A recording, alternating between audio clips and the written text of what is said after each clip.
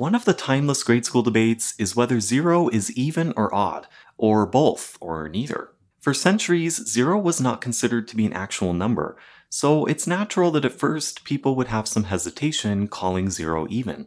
Let's show that 0 is even and explore why we really want 0 to be an even number, in everything from arithmetic and algebra to more advanced mathematics.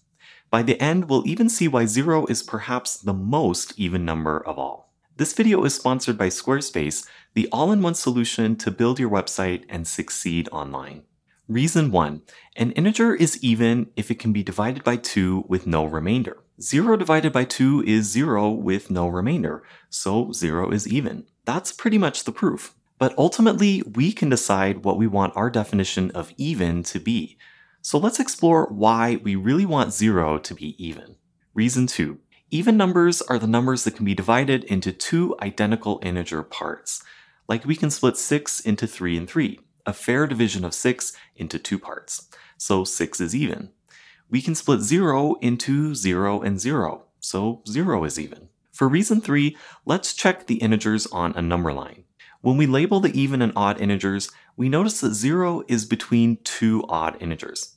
To avoid breaking the pattern, 0 should be even. Reason 4. When we add or subtract two even numbers, we always get an even number. Like 6 plus 4 is 10, which is even, and 6 minus 4 is 2, which is even. Since 2 minus 2 is 0, 0 should be even. Otherwise, our rule would have to be modified to be something like when we add or subtract two even numbers, we get an even number, or zero. Having arbitrary exceptions like this would make math less useful and less beautiful. Let's now move to some algebraic reasons. An integer n is odd if it can be written as n equals 2k plus 1 for some integer k. When we split n into two equal groups, there's one left over. So could 0 be odd? Let's try a proof by contradiction by assuming that 0 equals 2k plus 1 for some integer k. Then we can subtract 1 and divide by 2 to get that k must equal negative 1 half. That's not an integer, which is a contradiction. So 0 is not odd. Reason 6. Let's look at the graph of y equals x to the n for different integers n. When n is odd, we notice that the graphs have a rotational symmetry about the origin, we call these odd functions. When n is even, the graphs are instead symmetric about the y-axis. We call these even functions. So what about y equals x to the 0? Does this graph have the even or odd symmetry? X to the 0 is the empty product, which is 1. So its graph looks like this. It's symmetric about the y-axis, so this function is even. To avoid breaking the pattern, 0 should be even. Just like zero being even simplifies math, Squarespace simplifies building your own custom website. Squarespace's new design intelligence combines their decades of design expertise with powerful new AI tools, so anyone can build a beautiful custom website fast. You can even publish online courses. Choose your layout and upload your videos. You can easily add a paywall and set your price. Getting started with Squarespace payments takes just a few clicks, so you'll be able to accept payments right away. You can accept popular methods like Klarna, Direct Debit, Apple Pay, and more. Squarespace handles all the technical details so you can focus on your content. Check out squarespace.com to start your free trial today, and when you're ready to launch, go to squarespace.com slash drsean to save 10% off your first purchase of a website or domain. Now let's explore some more advanced mathematical ideas that show why we want zero to be even. Reason 7. The point in polygon test is a way to see if a point is inside or outside a polygon. Having a simple test for this is helpful for computer graphics and computer vision.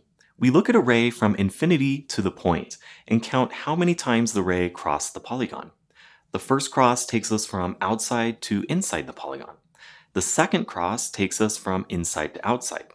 So if there were an odd number of crossings, then the point is inside the polygon, and an even number of crossings means the point is outside the polygon. This is a nice test, but it requires zero to be even. If there are no crossings at all, then the ray never went inside the polygon, so the point is outside. For the test to work in this case, zero should be even. Reason 8. The even integers form a mathematical structure called a group under addition. Here are the properties to be a group adding even numbers is associative. and adding two even numbers always gives an even number. We also need an additive identity element, an even number that when we add it to any other number, it remains the same. Zero is the additive identity. Lastly, every even integer has an additive inverse. Like the inverse of 4 is negative 4, since 4 plus negative 4 is 0. So if 0 is not even, then we'd have to say the even integers together with 0 form a group. Again, we see it's best if 0 is even. Reason 9. Integers have unique factorizations into a product of primes. Like 30 is 2 times 3 times 5. So we can check if an integer has an even or an odd number of distinct prime factors.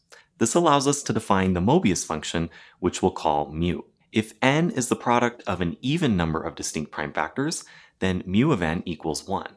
If n is the product of an odd number of distinct prime factors, then mu of n is negative 1. If n has a repeated prime factor, then the Mobius function is 0. One nice property of the Mobius function is its multiplicative. For example, mu of 6 is 1, since 6 has the prime factors 2 and 3. Mu of 2 is negative 1, since 2 only has one prime factor, itself. Similarly, mu of 3 is negative 1. So mu of 6 equals mu of 2 times mu of 3. So what is mu of 1? Well, 1 is not prime, and no prime number divides 1. So we say that 1 has 0 prime factors. Since 0 is even, that means that mu of 1 equals 1. If this weren't the case, then the Mobius function would not be multiplicative. Mu of 6 would not equal mu of 1 times mu of 6, for example. Without this multiplicative property, many proofs in number theory would fall apart. Again, 0 should be even. Reason 10. We can think that some integers are more even than others. Like 12 is doubly even. 12 is even, and when we divide 12 by 2, we get 6, which is still even. 10 is only singly even. After we divide by 2, we get an odd number. The two-adic valuation of an integer tells us the highest power of 2 that divides that number. The two-adic valuation of 12 is 2, and the two-adic valuation of 10 is 1. But what about 0? 0 can be divided by 2 over and over again without end.